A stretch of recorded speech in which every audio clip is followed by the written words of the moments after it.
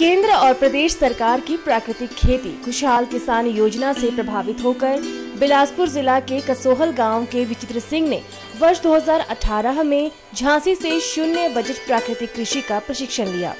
प्रशिक्षण लेने के तुरंत बाद विचित्र सिंह ने अपने गाँव में इस विधि को अपनाया और देखते ही देखते विचित्र सिंह की प्राकृतिक कृषि आज 16 बीघा तक पहुँच गई है।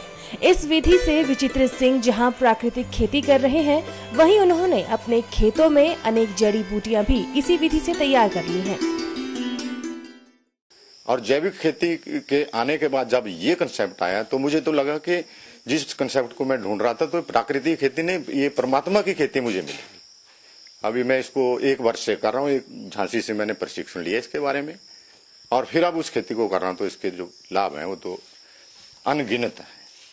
जिनको गिनाना बहुत लंबा कार्य है।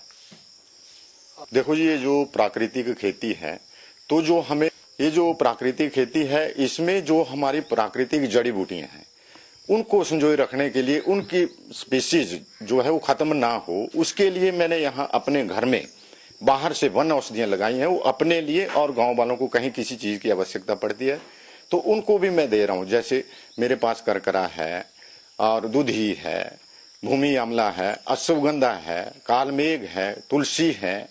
और इसके साथ साथ जो कमर्शियल साइड से देखा जाए तो मैंने अपने पास ये सहजन के साठ सत्तर पौधे लगा कर रखे हैं। अब देखते हैं इसके आगे इनके क्या परिणाम होते हैं। ये तो एक हमारा कमर्शियल साइड से देखा जाए तो बहुत ज़्यादा बेनिफिशियल है। प्राकृतिक कृषि की विचित्र सिंह की इस सफलता से कसोहल गाँव के किसान भी अछूते नहीं रहे और दो दर्जन से अधिक किसानों ने देखा देखी में कृषि की इस विधि को अपना लिया है। क्योंकि हम रासायनिक खाद्य उपयोग करते हैं, रासायनिक स्प्रे उपयोग करते हैं, उनसे जो है लगभग सारे, हर जगह जो कैंसर ही कैंसर कैंसर ही कैंसर फैला हुआ है। जैविक खेती करने से सबसे बड़ा फ़ायदा हमारे स्वास्थ्य के लिए ये लाभप्रद है और इसमें खर्चा भी कम आता है। इसमें अपने घरेलू बीज, घरेलू खाद्य जो है वो अपने घर की बनाई हुई खाद्यों का प्रयोग करते हैं। इसलिए ये जो है दूसरी खेती से जो है वो ज़्यादा फ़ायदेमंद है। सत्तर परसेंट के लगभग जैविक खेती कर रहे हैं। लेकिन अपने खाने के लिए जैविक अनाज पैदा कर रहे हैं। Hundred percent. पेशे से निजी स्कूल में शिक्षक विचित्र सिंह प्राकृतिक खेती को अपनाकर न केवल जहर मुक्त कृषि को बढ़ावा दे रहे हैं, बल्कि अन्य किसानों को शून्य बजट खेती के लिए जागरूक भी कर रहे हैं। डी न्यूज़ के लिए बिलासपुर से पवन ठाकुर की रिपोर्ट।